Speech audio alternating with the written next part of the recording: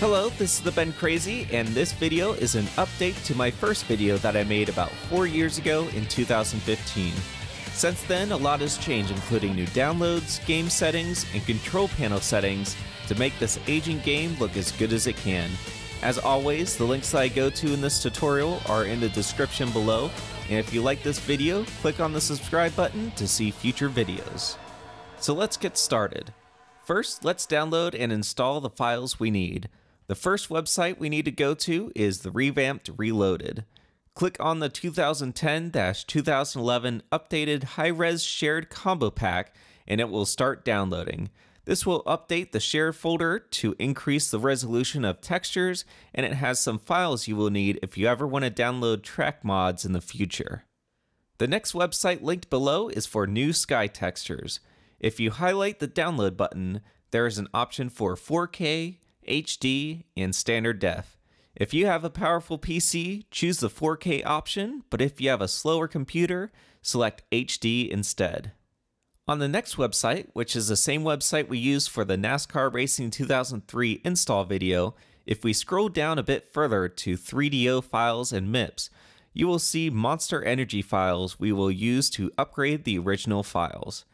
We want to download the NASCAR Flagger, the Jumbotron, the Hauler, the LED truck, tire walls, and the grass. The next website is NT Core, and we want to download the 4GB patch. What this patcher does is allows NASCAR Racing 2003 to use 4 gigabytes of virtual memory instead of the 2 gigabytes the game originally allowed.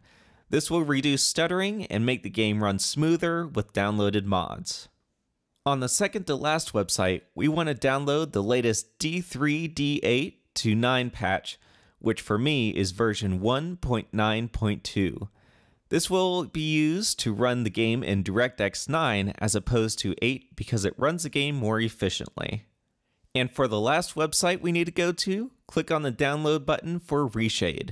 This program allows us to use the D3, D8 to 9 patch we downloaded earlier, and it has some extra features you can play around with to make the game look better.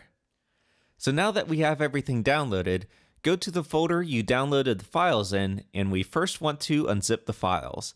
Highlight all the files and right click and select 7-zip or whatever unzipping program you have, and then extract the files to their own folder.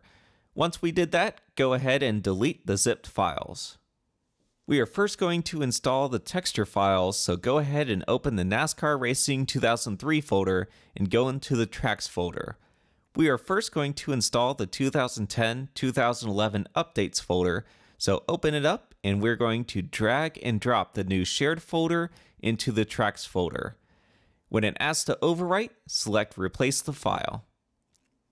Go back and we can now delete that folder and we are going to do the same for the next file, only we are going to put them in the shared folder. Double click the flagger folder and drag and drop the MIP file into the shared folder. Double click the grass folder and drag and drop all except for the README file into the shared folder. Open the LED truck folder and drag and drop the MIP files into the shared folder. Open the hauler folder and there are two options. Select 1024 if you have a slower computer or select 2048 if you have a powerful one and drag and drop the files into the shared. Open the Sky folder and drag and drop all the files into the shared folder. And lastly, the tire walls, drag and drop all except for the README into the shared folder. Now go back to the main NASCAR Racing 2003 season folder and drag and drop the d3d8.dll file into the folder along with Reshade. For the 4GB patch, open the folder and double click on the application to run it. Navigate to the NASCAR Racing folder and select the NASCAR Racing 2003.exe. Click and open it, and it will say that it was successful and hit OK. Now, if you look into your folder, you will see a new exe file and a file that has been renamed backup, which is the original file if you ever need it in the future. Go into the NASCAR Racing 2003 folder and open up Reshade. Click on Select Game to install and select the NASCAR Racing 2003 EXE. Then click on DirectX 9. It will ask if you want to download a collection and select Yes. Here, you can select more effects to put on NASCAR Racing 2003. It's trial and error, so test if you want to use any of them, but for me, I'm going to select Uncheck All and click on OK. So now that we have everything installed, let's open up NASCAR Racing 2003 and correct the in-game settings. Go to Options and try to match everything here to what you see in your game. Some things are based on your personal preferences like windshield buildup, solar effects, and steering wheel, but for the other options, match to what you see. Click on Done and exit the game. Now, go back to your NASCAR Racing 2003 folder and find a file named core.ini. Scroll down a bit and look for the cache size. Add a 1 to the beginning of the value. Then if you scroll down a bit more, under memory, make sure that the max block size and the pool size is 524288. Save the file and close. The next file we're going to look for is the ren.dxg file. For the anisotropic level, change that value to 0, and for the texture set size, change that to negative 1. Save and close. In the future, if you ever see the game redoing the configuration, if you open up a new mod or sometimes the game just does it randomly, it only messes with this file. So if that ever happens, go back and redo these settings back to what I showed you. The last file we need to modify is located in your player folder, then your player name, and then open the player file. Under graphics options, make sure that both draw ahead and behind distance are 100, car mega shader and shadow volumes are set to 1, and a bit further down, change the texture quality to 100. Save and close the file. Now to show you what these changes did, so far, we made the game look from this to this, but we can still improve the game a bit further. The last thing that we need to do is change the options inside of your GPU's control panel. Now I'm using an NVIDIA GPU, so if you have an AMD card, the settings may not be the same, but some will be similar, so try to follow as much as you can.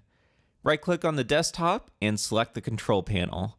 Select Manage 3D Settings, and then click on the Program Setting tab. If we stayed on the Global tab, it would have changed the settings for all of your games you use, which would not be a great idea. Click on the drop down and select NASCAR Racing 2003, or if it doesn't show up, click on Add and find the NASCAR Racing 2003.exe.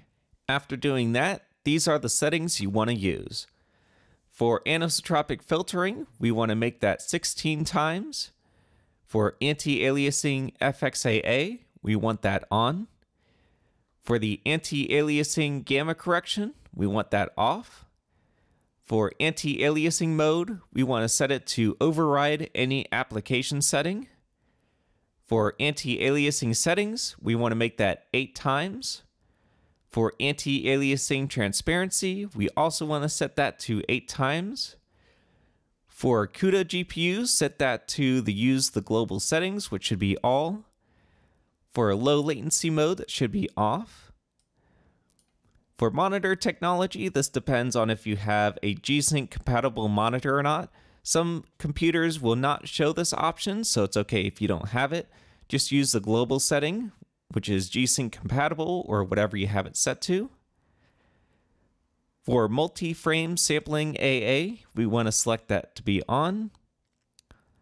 For OpenGL, we want that to be auto select. For power management mode, we want that to be optimal. For refresh rate, this is another one that you might not see if you have a G-Sync monitor or not. Um, you just want to use the global setting, which is highest available. For shader cache, you want that to be on. For texture filtering anisotropic sample option, we want that to be off. For texture filtering negative LOD bias, set that to clamp. For texture filtering quality, set that to high quality. For trilinear optimization, we want to set that to off. For threaded optimization, we want to have that to auto. For triple buffering, we want that to be off. And for VSync, we want to turn that off. And lastly, for virtual reality pre-rendered frames, this is for only those that use uh, virtual reality headsets or VR headsets. Um, use the global setting, which should be set to 1. Click on Apply, and now we are done. So lastly, just to compare on how much better the game will look now, this is before any change, this is after we made the change to the game files. And lastly, this is what the game looks like with the control panel changes. So I hope you enjoyed the video, and if you have any questions on the settings I went over, put it in the comments below. Don't forget to like and subscribe to see more videos in the future, and again, I am the Ben Crazy, and I will see you later.